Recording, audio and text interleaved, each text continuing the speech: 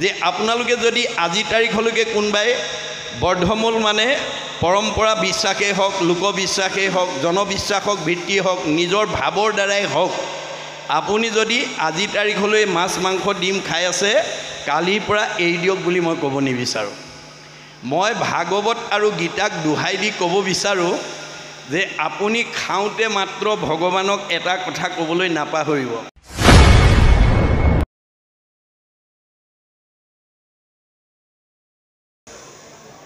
প্ৰহ্লাদৰ পিতৃ হিৰণ্যকশিপুৰক বধ কৰাৰ পিছতো নৃসিংহৰ খং মাৰ যোৱা নাছিল। দেৱতাসকল তেওঁৰ ওচৰ চাপিবলৈ সাহস কৰা নাছিল। তেতিয়া তেওঁক ক'লে যোৱা তুমি স্তুতি কৰা। তেতিয়া গৈ তেওঁ ভগৱন্তক কৈছিল প্ৰভু মোৰ দেউতাই তোমাক বহুত দুখ দিলে। যাৰ কাৰণে তেওঁক তুমি বধ কৰিবলগীয়া হ'ল মোৰ মুখলৈ চাই তেওঁক তুমি গতি দিব লাগে। তেতিয়া ভগৱন্তই হাঁহি পেলাই কৈছিল তই হেন বৈষ্ণৱ পুত্ৰ ভৈলি যাৰ একৈছ পুৰুষ তই কৰিলি উদ্ধাৰ। তোৰ দৰে বৈষ্ণৱ পুত্ৰই দেউতাৰ কথা বাদ দে।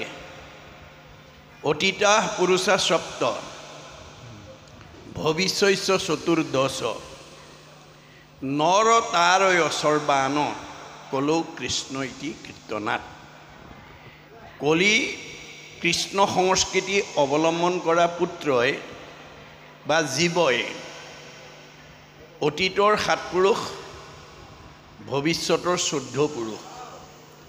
চৈধ্যই সাতে একৈছ পুৰুষ উদ্ধাৰ কৰিলি। দেউতা তাৰ মাজতে গ'ল তাৰ কাৰণে তই চিন্তা কৰিব নালাগে। তেনেহ'লে মোক তোমাৰ ওচৰলৈ নিয়া। নোৱাৰিম তোমাৰ পুণ্য জমা হৈ আছে। তুমি ৰজা হ'বই লাগিব। ৰজা হৈ ভোগভুঞ্জি পুণ্য কৰা ক্ষয়। আমাৰ ভোগ যিকোনো মানুহে কৰিবলৈ নাপায় মনত ৰাখিব। আপোনালোকৰ বৰ ৰাইডিঙীয়া গাঁৱতে বাস কৰি আছে। কাৰোবাৰ চকুৰ আগতে কোনোবাই বহুত উপভোগ কৰি আছে কোনোবাই হয়তো অভাৱত আছে। এতিয়া আপুনি ভাগৱত শুনি অনুভৱ কৰিব লাগিব যে একেখন গাঁৱতে বাস কৰিছোঁ একে পৰিৱেশতে আছোঁ একেটা সীমাতে আছোঁ এওঁ ইমান সুন্দৰকৈ আছে আৰু মই কিয় অভাৱত আছোঁ? মই কিয় দুখত থাকিব লগা হৈছে? গতিকে এই কথাটো আপোনাৰ উপলব্ধি কৰিব লাগিব। যদি উপলব্ধি কৰিব নোৱাৰে তেতিয়াহ'লে আমাৰ সংস্কাৰ নহ'ব। উপলব্ধিহে সংস্কাৰ আনিব। সেইকাৰণে ভগৱন্তই আমাৰ প্ৰত্যেককে একোটা জ্ঞান দি পঠিয়াইছে। কাক কি জ্ঞান দিছে আপোনালোকেহে জানিব। কাৰোবাক ডাক্তৰ কাৰোবাক ইঞ্জিনিয়াৰ কাৰোবাক প্ৰবক্তা কাৰোবাক অধিবক্তা কাৰোবাক বুদ্ধিজীৱী কাৰোবাক জ্ঞানী কাৰোবাক মানি কাৰোবাক ব্যৱসায়ী কাৰোবাক মানে খেতিয়ক বিভিন্ন প্ৰতিভাৰে আমাক পঠাই দিছে।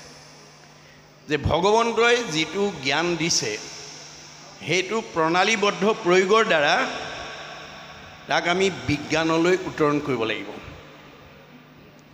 বিজ্ঞানটোক উপলব্ধিৰ দ্বাৰা দৰ্শনলৈ উত্তৰণ কৰিব লাগিব আৰু দৰ্শনটোক উপলব্ধিৰ দ্বাৰা ধৰ্মত নি প্ৰতিষ্ঠা কৰিব লাগিব। তেতিয়া ধৰ্ম ৰক্ষতি ৰক্ষিত। তেতিয়াহে আমাক ধৰ্মই ৰাখিব।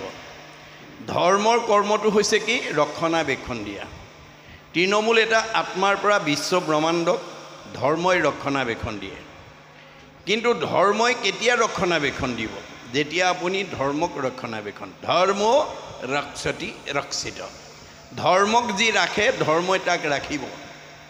ধৰ্ম এইবোৰ হতো হন্তি। ধৰ্মই কৈছে মোক যদি কোনোবাই নাৰাখে মই তাক ৰাখিব নোৱাৰোঁ। এতিয়া ধৰ্মক ৰাখিবলৈ হ'লে প্ৰহ্লাদৰ দৰে দহটা গুণ আমাক লাগিব দেই। প্ৰহ্লাদৰ দহটা গুণ এশ শতাংশ আছিলে কাৰণে খুটাতে ভগৱানক উলিয়াবলৈ সক্ষম হৈছিল। এই দহটা গুণ আপোনালোকৰ কাৰ কিমান আছে নিজে অনুভৱ কৰিব লাগিব দেই। মই গুণকেইটা কথা কৈছোঁ। ধীতি ক্ষমা দম অস্তেয় শৌচম ইন্দ্ৰিয় নিগ্ৰহ ধী বিদ্যা সত্যম অক্ৰোধ দশকম হি ধৰ্ম লক্ষণ। এই দহটা ধৰ্মৰ গুণ যাৰ গাত থাকিব এশ শতাংশ আপুনিও ফুটাতে উলিয়াই দিব পাৰিব। আজিও ভগৱানক আপুনি সাক্ষাৎ কৰিব পাৰিব। কিন্তু আপুনি নিজকে নিজে সোধক এই দহটা গুণৰ কেইটা আপোনাৰ অভাৱ হৈ আছে। সেইটো উজুতি খাবই কিন্তু মনত ৰাখিব কথাটো। গতিকে ধৰ্মই ধৰ্মক ৰখাজনকহে ধৰ্মই ৰাখিব পাৰে। ধৰ্মক ৰাখিবলৈ হ'লে আমাৰ দহটা গুণ এশ শতাংশ আমি ৰাখিবলৈ যত্ন কৰিব লাগিব। অলপ আগতে ব্যাখ্যাত কৈ গৈছে যে আমি চৌৰাশী জুনি অতিবাহিত হৈ নৰত্ব পাইছোঁ। নৰত্বৰ পৰা আমি নিজক দেৱত্বলৈ উত্তৰণ কৰিব লাগিব। দেৱত্বৰ পৰা আমি নিজকে ব্ৰহ্মত্বলৈ উত্তৰণ কৰিব লাগিব। তেতিয়া আমি নিজৰ ঘৰখনত গৈ বিলীন হৈ যাব পাৰিম। যিখন ঘৰৰ পৰা আহিছোঁ সেইখন ঘৰলৈ আমি কথা ক'বলৈ আছে। বাপসকল আপোনালোকে কথাটো অলপ কমাই কওক। কথা ক'ব পাৰিব কিন্তু পাপ হ'ব দেই মনত ৰাখিব। পাপ আয় পৰপীড়নম। কোনোবাই মনোযোগেৰে শুনি আছে আপুনি গ্ৰাম্য কথা পতাৰ কাৰণে আনৰ শুনাত আঘাত হৈছে। কথা পতাজনে কিন্তু ইয়াৰ পৰা পাপ লৈ যাব লাগিব। মনত ৰাখিব কথাটো। এইটো মোৰ কথা নহয় বেদৰ কথা ভগৱানৰ কথা। ভগৱানে কৈছে মোৰ কথা কৈ থাকোঁতে যদি কোনোবাই গ্ৰাম্য কথা পাতি মোৰ কথা শুনাত যদি কোনোবাই বাধা দিয়ে সেই কথা কোৱা আৰু শুনা কেইজনৰ কি হ'ব? পাপ হ'ব। পাপ আয় পৰপীড়নম। আপোনালোকে সাৱধান হ'ব লাগে মই প্ৰথম ব্যাখ্যাতে এই কথাটো কৈছোঁ। উদ্দেশ্য একেটাই আমি ভাগত শুনিবলৈকে আহিছোঁ। কিন্তু আমাৰ নম্বৰটো সমান নহ'ব। ইয়াতে নম্বৰ কম বেছি হৈ যাব। কাৰণ আপুনি কিমান মনোযোগেৰে শুনিছে কথাখিনি তাৰ ওপৰতহে আপোনাৰ আজিৰ পুণ্যটো নিৰ্ভৰ কৰিব। এইটো বেদৰ বচন। ভগৱানে অৰ্জুনক সতৰ্ক কৰি দিছে যে তুমি যিমান শ্ৰদ্ধাৰে শুনিবা সিমান দুগুণ পাপৰ পৰা মুক্ত হ'ব পাৰিবা। যদি অন্য মনস্ক হৈ শুনা তেতিয়া তুমি এগুণ পাপৰ পৰাহে মুক্ত হ'ব পাৰিবা।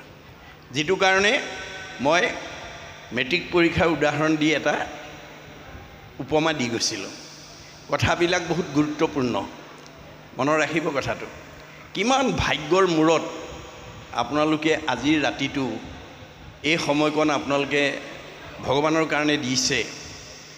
যদি আমাৰ ডেকা যুৱকসকলে যদি এই অনুষ্ঠানটো নাপাতিলেহেঁতেন এতিয়া আপোনালোকে নিজৰ নিজৰ বিষয়ৰ চিন্তাত ঘৰত বহি থাকিলেহেঁতেন। এতিয়া আপোনালোকে চব বিষয় এৰি পেলাই হে নাই ঈশ্বৰৰ কথা শুনি আছে। আপোনালোকে যোগ কৰি আছে দেই মনত ৰাখিব। আপোনালোকে যোগ কৰি আছে। এই যোগ নীতিটো কপিলে মাকক শিকাইছিলে। কপিল স্বৰূপে আৰু ভৈলা অৱতাৰ লুপ্ত ভৈল জ্ঞানত আকৌ কৰিলা প্ৰচাৰ। তোমাৰো প্ৰসাদে যুগ জানি দেৱ সুতি। তোমাৰ চৰণ চিন্তি লভিলা মুকুতি। কপিলে দেখুৱাই যোৱা যুগ নীতিটো অৱলম্বন কৰাৰ কাৰণে যদি দেৱহূতি উদ্ধাৰ হ'ল আমি হ'ম নে নহ'ম? আমি হ'ম নে নহ'ম? এই কথাটো অনুভৱ কৰিব লাগিব। কি যুগ? কৰ্মচু কৌশলম যুগ। যিটো কৌশল অৱলম্বন কৰিলে আত্মাই পৰমাত্মাৰ লগত সংযোগ স্থাপন কৰিব পাৰে। এইটোৱে হৈছে কলি যুগৰ অক্ষয় তপ। এতিয়া কলি যুগৰ মানুহে বৈদিক যুগৰ দৰে ঘৰ দুৱাৰ এৰি ল'ৰা তিৰোতা এৰি গছৰ তলত নিৰিবিলি স্থানত বদৰিকাশ্ৰমত পাহাৰৰ দাঁতিত ঈশ্বৰক উপাসনা কৰিব নালাগে। আজি সকলো কৰ্মৰ মাজৰ পৰা ওলাই আহি যিকণ সময় আমি ঈশ্বৰৰ কাৰণে দি আছোঁ এইটো হ'ল কলি যুগৰ অক্ষয় তপ বুলি ভাগৱতে কৈছে। যিমানে কৃষ্ণক দিয়ে সেহিহে অক্ষয়। ইহাক নিবাক একো জনে নপাৰয়। আজিৰ পুণ্যকণ আমাক কোনেও নিব নোৱাৰে। যিমান ৰাতি পাৰ কৰিলোঁ তাৰ ভিতৰত আজি এই চাৰিটা দিনৰ ৰাতিকেইটা আপোনালোকৰ কাৰণে বৰ মূল্যৱান। কাৰণ এইটো ধন লগত লৈ যাব। আন ধনবিলাক এৰি থৈ যাব। আনজনৰ ধন দেখা খৰচিলে যাই বিঠা খালে দিলে সবে টুটি যায়। নামৰ নাহিকে ক্ষয় লাগে মানে বৃদ্ধি হয় ভাগ বাতিলেও বাঢ়ি যায়। অন্য ধনবিলাক দি থাকিলে খাই থাকিলে ঢুকাই যাব। কিন্তু নাম ধন যিমানে দিব সিমানে বাঢ়ি বাঢ়ি গৈ থাকিব। এইটো পৰকালৰ ধন বহুত ভাগ্যৰ মূৰত পাইছে। মই আৰম্ভণিতে আজি কৈছিলোঁ যে আপোনালোকতকৈও বহুত ধনী গাঁও বহুত বিদ্যাৱন্ত লোক থকা গাঁও থাকিব পাৰে। কিন্তু এনেকুৱা কলি যুগৰ যজ্ঞ চবেই কৰিব নোৱাৰে। এইটো যদিও আপোনালোকে চাৰিদিনীয়া কাৰ্যসূচীৰে ভাগৱত পাঠ ব্যাখ্যা অনুষ্ঠান কৰিছোঁ বুলি কৈছে আমাৰ বেদে কৈছে নহয় কলি যুগৰ চাৰিদিনীয়া যজ্ঞ কৰিছে। মূত চিত্ৰ দিয়া যিটো কৰৈ কৰ্ম ধৰ্ম তাৰ নাম যজ্ঞ সখী কৈলো ইটো মৰ্ম। এইটো চাৰিদিনীয়া যজ্ঞ। কি যজ্ঞ? ভাগৱত যজ্ঞ। কি যজ্ঞ? ভক্তি যজ্ঞ। কি যজ্ঞ? নাম যজ্ঞ। গতিকে এই যজ্ঞস্থলীলৈ আহিলেই পুণ্য হয় উপজয় পুণ্য বুলি কৈছে। পাপ হৈ দূৰ পুণ্য যেতিয়া সোমাব পাপ ওলাই যাবলৈ বাধ্য হ'ব। খালী বটলত যেতিয়া পানী ভৰাব তাৰ ভিতৰৰ বায়ু ওলাই যাবলৈ বাধ্য হ'ব। গতিকে এই কথাবিলাক যেতিয়ালৈকে অনুভৱ নকৰিব তেতিয়ালৈকে আমাৰ সংস্কাৰ নহ'ব। সেইকাৰণে এজন দাৰ্শনিক পণ্ডিতে কৈছে systematic knowledge is science realise science is philosophy realise philosophy is religion religion is the highest sense of philosophy প্ৰণালীবদ্ধ জ্ঞানক বিজ্ঞান বুলি কৈছে। বিজ্ঞানটোক যেতিয়া উপলব্ধি কৰিব দৰ্শন দৰ্শনটোক যেতিয়া উপলব্ধি কৰিব ধৰ্ম ধৰ্মতকৈ আৰু শ্ৰেষ্ঠ দৰ্শন পৃথিৱীত দ্বিতীয় নাই বুলি কৈছে। মহাপুৰুষ শংকৰদেৱে এটা বাক্যত কৈছে যতেক দেখা খোজ সমুদায়। হস্থিৰ খোজত সবে লুকায়। এহিমতে যত বিশ্ব সমস্ত কৃষ্ণতে জানা সবে যাই অস্ত। প্ৰকৃতি জগতত যিমান জীৱ জন্তু আছে সকলো জন্তুৰ খোজ হাতীৰ খোজত লুকাই যায়। হাতীৰ খোজতকৈ আৰু ডাঙৰ খোজ কোনো জন্তুৰ নাই। এই পৃথিৱীত যিমান ডাঙৰ মানুহ আছে ৰাষ্ট্ৰপতিও কৃষ্ণতে বিলীন হ'ব লাগিব সাধাৰণ নাগৰিকো কৃষ্ণতে বিলীন হ'ব লাগিব। এম এল এ মিনিষ্টাৰো কৃষ্ণতে বিলীন হ'ব লাগিব। ঠেলাৱালা ৰিক্সাৱালাও কৃষ্ণতে বিলীন হ'ব লাগিব। বৰ ৰাইডিঙীয়া গাঁৱৰ ধনী মানুহজনো কৃষ্ণতে বিলীন হ'ব লাগিব। দুখীয়া মানুহজনো কৃষ্ণতে বিলীন হ'ব লাগিব। কৃষ্ণৰ ব্যতিৰেকে আৰু বেলেগ ব্যৱস্থা নাই। সেইকাৰণে মহাপুৰুষে কৈছে কৃষ্ণক পুজিলে পূজা সমস্তৰে হয়। গতিকে কৃষ্ণক সন্তুষ্ট দিবৰ কাৰণে কৃষ্ণক আমাৰ নিজৰ ঘৰখনত ৰাখিবৰ কাৰণে ভাগৱতে পৰামৰ্শ দি আছে। আৰু প্ৰহ্লাদৰ স্তুতিত এই কথাখিনিকে প্ৰকাশ পাইছে। মনত ৰাখিব কথাটো। এতিয়া কৃষ্ণ কাৰ ঘৰত থাকিব যিটো নামলৈ হৰি তাৰ হয়। ই কোনো ৰহস্য বৰে। এই ৰহস্যটো আমি ভেদ কৰিব লাগে ঘৰ দুখন। এখন পৰিয়াল থকা ঘৰ এখন আমাক উদ্ধৱক চিনাকি কৰি থৈ যোৱা ঘৰখন। মহুৰ সেৱাৰ যোগ্য মনুষ্য শৰীৰ। ইহাকে বুলিয় গৃহ জানা মহাবীৰ। এইখন এখন ঘৰ বুলি কৈছে দেই এইখন ঘৰতো কৃষ্ণক ৰাখিব লাগিব পৰিয়াল থকা ঘৰখনতো কৃষ্ণক ৰাখিব লাগিব। কৃষ্ণ থকা ঘৰখন আনন্দত থাকিব শান্তিত থাকিব মৰম চেনেহত থাকিব একতাৰ দোলেৰে বান্ধ খাই থাকিব। এতিয়া এইখন ঘৰত কৃষ্ণ ৰাখিবলৈ হ'লে কৃষ্ণ কথা আপুনি শ্ৰৱণ কীৰ্তন কৰিব লাগিব। মূৰ শুনিৰ মল কথা কহন্ত শুনন্ত যদি জানা ক'বা নহ'লে শুনিবা। মুতবিনে চিত্ৰ আন দেৱত নেদন্ত আন দেৱতাত মনোযোগ নিদিবা।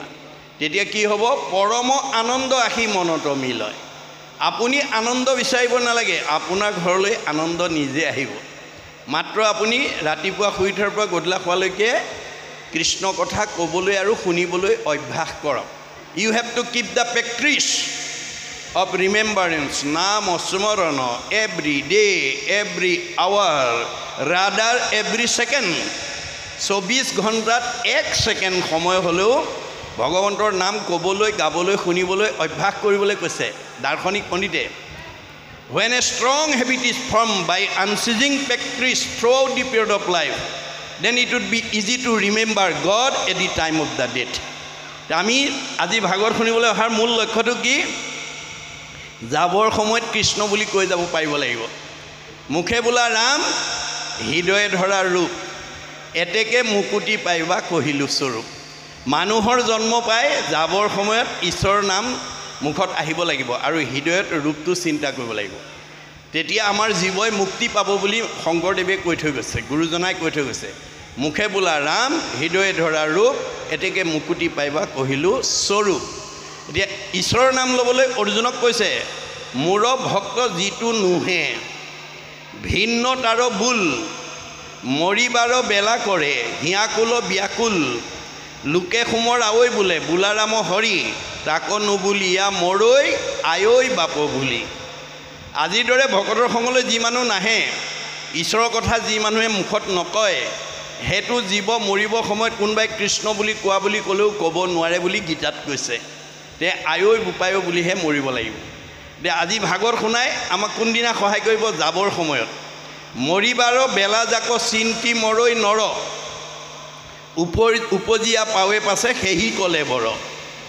মৰিবৰ সময়ত আমি যিটো চিন্তা কৰি মৰিম সেই কলেবৰটো আমি পিছৰ জন্মত ধাৰণ কৰিব লাগিব। অৰ্জুনক কৈছে জং জং অপিস্মৰণ ভাৱং তেজতে অন্তে কলে বৰম।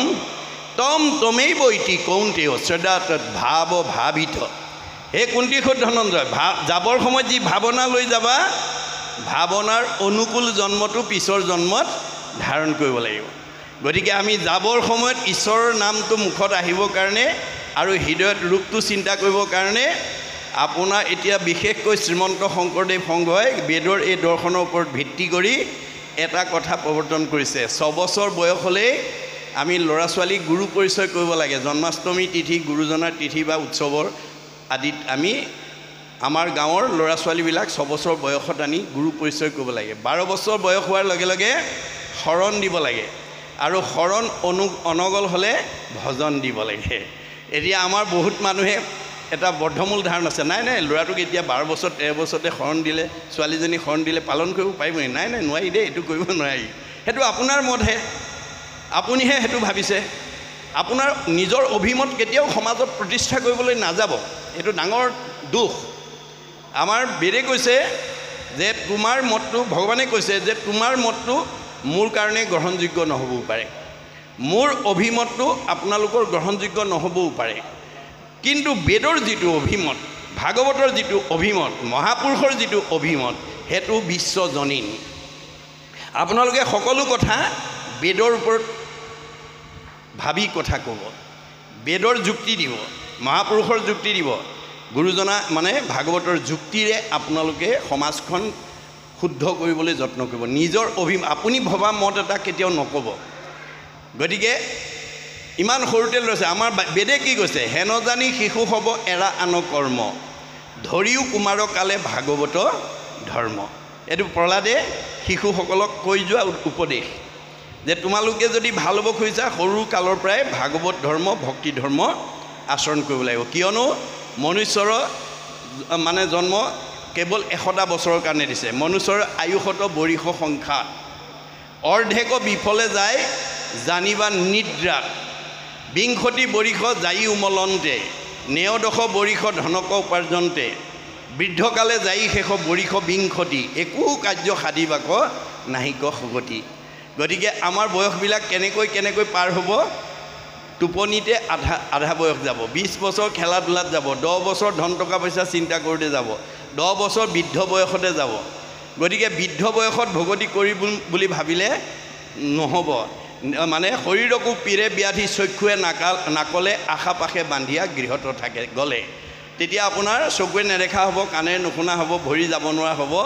সেই সময়ত ভগতি কৰিম বুলি থাকিলে নহ'ব। হেন জানি শিশু হ'ব এৰা আন কৰ্ম ধৰিও কুমাৰকালে ভাগৱত ধৰ্ম।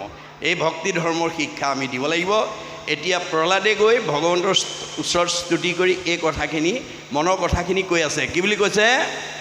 যে সুখে যোনো মনে আকৌ বাঞ্চয় সতত মূৰ পোনো তাকো বাঞ্চা নাহিকে মনত। অইনে যিবোৰ কথা মনত ভাবে মোৰ সেইবোৰ কথা মোৰ মনত বাঞ্চা নাই।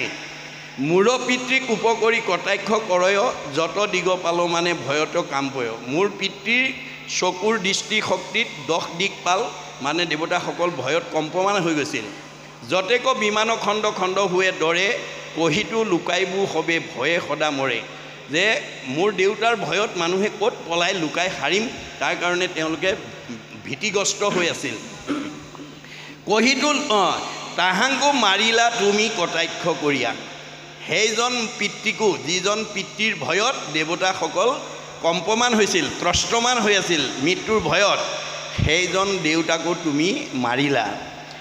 যতেক বিমানখন অঁ যে তাহাংকো মাৰিলা তুমি কটাক্ষ কৰিয়া দান্ত নিকটীয়া হেৰা আচন্ত পৰিয়া। এতিয়া দাঁত নিকটাই পৰি আছে।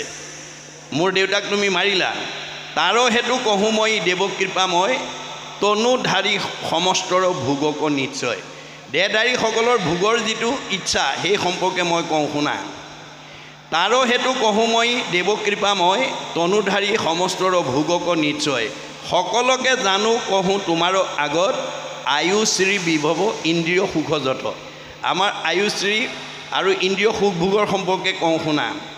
সকলোকে জানো কহোঁ তোমাৰো আগত আয়ুশ্ৰী যশ বিভৱ ইন্দ্ৰিয় সুখযত ব্ৰহ্মলোকক সীমা কৰি যত ভোগ ছয় কিছু মূৰ মনে বাঞ্ছা নাহি দয়াময়। ব্ৰহ্মলোকলৈকে ব্ৰহ্মাই বাস কৰি থকা জেগালৈকে যিমানবিলাক ভোগ আছে সেইবোৰ ভোগৰ বাঞ্ছা মই নকৰোঁ তোমাৰ ওচৰত। প্ৰহ্লাদে কৈছে যে বুলিলাহা কিয় তজু বাঞ্ছা নাহি কয় তোমাৰো আগত কহোঁ শুনা মহাশয়। তোমাৰ কিয় এই ভোগৰ বাঞ্ছা নাই বুলি যদি তুমি মোক প্ৰশ্ন কৰা তেতিয়াহ'লে মই তাৰ উত্তৰটো তোমাক কওঁ শুনা। তুমি কালমূৰ্তি সমস্তকে কৰা নাশ। তুমি অঁ পৰম বিক্ৰম তুমি শুনা জগবাস। তুমি পৰম বিক্ৰমধাৰী তুমি সকলোকে কালৰূপে বিনাশ কৰা। অনিমাদি সিদ্ধি যত তাকো নবাঞ্চোহো। তোমাৰো আগত মই দৃঢ় কৰি কহোঁ। মই ক্ষুদ্ৰমান সুখ বিষয় সুখো মই তোমাৰ ওচৰত বাঞ্ছা নকৰোঁ। ইয়াৰ কাৰণটো মই তোমাক দৃঢ়ভাৱে কওঁ শুনা। বৰ্তমানৰ কালে যত আছে ভোগ ছয় ইও সুখ নবাঞ্চোহো শুনা কৃপাময়। বৰ্তমান যিবিলাক ভোগৰ কথা চকুৰ আগত ভাহি আছে সেইবিলাক ভোগৰ কথাও মই তোমাৰ পৰা নিবিচাৰোঁ। পৰম মধুৰ শুনি কৰ্ণৰ আনন্দ মৃগতৃষ্ণা যেন মিছা সদা সদানন্দ। গতিকে মৃগতৃষ্ণাৰ দৰে মই কৰ্ণৰ মধুৰ হেৰিবিলাক মানে বিষয়ৰ সুখবিলাক মই নিবিচাৰোঁ। কৰ্ণৰ যিটো তোমাৰ কথা শুনি যিটো আনন্দ যিটো অবিনাশী সেই কথাহে মই তোমাৰ পৰা বাঞ্ছা কৰোঁ। ৰোগৰ উদ্ভৱ আন যিটো ক'লে বৰ তাতে সুখে আছে কৰে বৰ বৰ নৰ। যোনেই যিমান ভোগ কৰিব সিমানেই ৰোগ হ'ব। মনত ৰাখিব দেই ভোগৰ লগত ৰোগটো জড়িত হৈ আছে। আজি তাৰিখতো আমাৰ বহুত পিতৃ মাতৃৰ মনত এটা বৰ্ধমূল ধাৰণা আছে। কি বুলি? হেৰা ল'ৰা ছোৱালীকেইটাক মাছ মাংস ডিম নোখোৱালে তেওঁলোকৰ শক্তি কেনেকৈ হ'ব? পঢ়া শুনাত কেনেকৈ আগবাঢ়িব? তেওঁলোকে নিৰোগী হৈ কেনেকৈ থাকিব? স্বাস্থ্য কেনেকৈ ভালে ৰাখিব পাৰিব? এই ধাৰণাটো আজি আমাৰ বহুত পিতৃ মাতৃ বৰ্ধমূল ধাৰণা হিচাপে মনত শিপাই আছে। কিন্তু এটা আন্তঃৰাষ্ট্ৰীয় বিজ্ঞান সন্থাই আমাক কি বুলি কৈছে? What protein you will get from fish and flesh you will get more protein from homemade ghee and vegetables মাছ মাংস ডিম খাই আমি শৰীৰত যিটো শক্তি পাওঁ তাতকৈ ঘৰত বনোৱা ঘিউ আৰু শাক পাচলি খালে বহুত বেছি প্ৰটিন আমি পাব পাৰোঁ। Fish and flesh pray disease only মাছ মাংসই আমাৰ শৰীৰলৈ বেমাৰৰ বীজাণু কঢ়িয়াই আনে। মই আপোনালোকক এসপ্তাহ সময় দিছোঁ। প্ৰমাণ কৰি চাওক হয়নে নহয়? আপুনি এসপ্তাহ পুৱা দুপৰীয়া গধূলি পুৱা দুপৰীয়া গধূলি মাছ মাংস দিম মাছ মাংস দিম। নিজেও খাই থাকক ল'ৰা ছোৱালীকো খুৱাই থাকক। এসপ্তাহৰ পিছত আপুনি দেহৰ খবৰ ল'ব গম পাই যাব। গেছ বদহজম বিষ ইত্যাদি ইত্যাদি। কিন্তু নিৰামিষ গোটেই বছৰ খাই থাকক। আপোনাৰ তেনেকুৱা ৰোগে আপোনাক প্ৰভাৱ পেলাব নোৱাৰে। প্ৰকৃতি জগতৰ চালে জগতলৈ চালে আমি সেই কথা উপলব্ধি কৰিব পাৰোঁ। বাঘ সিংহ মাংসহাৰী আৰু হাতী তৃণভোজী। ধৈৰ্য কাৰ বেছি? আয়ুস কাৰ বেছি? যদি মাছ মাং মাছ মাংস হাৰি সিংহ বাঘৰ যদি ধৈৰ্যহীন হয় আয়ুস কম হয় তৃণভোজী হাতীৰ যদি ধৈৰ্য বেছি হয় আয়ুস বেছি হয় তেতিয়াহ'লে আমাৰ ক্ষেত্ৰত সেইটো প্ৰযোজ্য নহ'ব নেকি? নিশ্চয় হ'ব। আপুনি মাত্ৰ উপলব্ধি কৰিব লাগিব। ভাগৱত শুনি উপলব্ধি কৰিব লাগিব। এতিয়া প্ৰহ্লাদে সেই কথাটো কৈছে দেহ দেহৰ সুখবিলাক মই কামনা নকৰোঁ এইবোৰ বিনাশী। যে দেহত ভোগৰ লগত ৰোগটো জড়িত হৈ আছে। গতিকে সেইকাৰণে মই বিভিন্ন ঠাইত ব্যাখ্যা প্ৰসংগত মই নিজৰ মত নহয় গীতা ভাগৱতৰ মত। গীতা ভাগৱতৰ মতৰ পৰা মই আহ্বান জনাই আহিছোঁ ভকতসকলক যে আপোনালোকে যদি আজি তাৰিখলৈকে কোনোবাই বৰ্ধমূল মানে পৰম্পৰা বিশ্বাসেই হওক লোকবিশ্বাসেই হওক জনবিশ্বাসক ভিত্তি হওক নিজৰ ভাৱৰ দ্বাৰাই হওক আপুনি যদি আজি তাৰিখলৈ মাছ মাংস ডিম খাই আছে কালিৰ পৰা এৰি দিয়ক বুলি মই ক'ব নিবিচাৰোঁ। মই ভাগৱত আৰু গীতাক দোহাই দি ক'ব বিচাৰোঁ যে আপুনি খাওঁতে মাত্ৰ ভগৱানক এটা কথা ক'বলৈ নাপাহৰিব। কি বুলি? প্ৰভু এৰিব পাৰিলে ভাল হয়। আপুনি খাই আছে কিন্তু খাওঁতে প্ৰভুক ক'ব প্ৰভু এৰিব পাৰিলে ভাল হয়। আপোনাক মই এমাহ সময় দিছোঁ। এমাহ সময় অন্তৰ পৰা দেই পবিত্ৰ অন্তৰ পৰা উপলব্ধিৰ দ্বাৰা। উপলব্ধি নহ'লে কিন্তু আপুনি গোটেই জীৱনতো সংস্কাৰ নহয়। হয় নাই? পাপ কৰি অনুতাপ উপজিলে যাৰ অনুতাপে প্ৰায়চিত্ৰ জানিবাহা তাৰ। আপুনি কিবা এটা ভুল কৰি যেতিয়া অনুতপ্ত হ'ব তেতিয়া প্ৰায়চিত্ৰ হ'ব। আপুনি সংস্কাৰ হৈ যাব। যদি অনুভৱ নহয় উপলব্ধি নকৰে আপোনাক কোনোবাই বুজাই পেলাই আপোনাক সংস্কাৰ কৰিব নোৱাৰে। আপুনি উপলব্ধি কৰিব লাগিব। গতিকে আপুনি মাত্ৰ ভগৱন্তক কৈ থাকক প্ৰভু এৰিব পাৰিলে ভাল হয়। তেতিয়া ভগৱানে ক'ব হ'ব। খুব কম সময়ৰ ভিতৰত তোমাৰ এই প্ৰাণী হিংসা কৰাৰ যিটো সমস্ত ভূততে মই আছোঁ সৰ্বক্ষণে ইহাংক অৱজ্ঞা আতি কৰে যিটো জনে বেদমন্ত্ৰে প্ৰতিমাত কৰয় অৰ্চন নোহে কিছু ফল মাত্ৰ সবে বিড়ম্বন। পৰ শৰীৰত মোক বিদ্বেষ কৰয় যদি পূজে প্ৰভু তাৰ চিত্ত শান্ত নয়। প্ৰাণিক উপেক্ষা কৰি পূজে মূঢ়মতি নোহে ফল কৰে যেন ভস্মত আহুতি। প্ৰাণিক নিন্দিয়া মোক যিজনে পূজয় তাত মই তুষ্ট নহওঁ জানিবা নিশ্চয়। এইকেইটা ভাৱেৰে আপুনি ঈশ্বৰক পূজা কৰিলে ঈশ্বৰ কেতিয়াও আপোনাৰ প্ৰতি সন্তুষ্ট নহয়। এতিয়া মাকে সুধিলে বোপাই তুমি কেনেকৈ সন্তুষ্ট হ'বা? অৱজ্ঞা উপেক্ষা দেশ নিন্দা পৰিহৰি তেবে মোক ভজিবেক ভক্তিভাৱ কৰি। আজিৰ দৰে ঈশ্বৰৰ কথা শ্ৰৱণ কীৰ্তনৰ দ্বাৰা ভগৱন্তক ভজিলেহে আপোনাৰ প্ৰতি ভগৱন্ত সন্তুষ্ট হ'ব। বোলে অন্য প্ৰকাৰে পুজিলে অন্যথা পুজিলে মোক ফলক নাপায়। স্বৰূপ কহিয়া মই কহিলোঁ হওঁ আই। খাটাং কৰি ক'লোঁ মা কোনোবাই অন্য প্ৰকাৰে মোক ভজিব পাৰিব কিন্তু মোক তেওঁ মোৰ পৰা তেওঁ ফল নাপায়। নাপায়। মই তোমাক দৃঢ়তাৰে ক'লোঁ।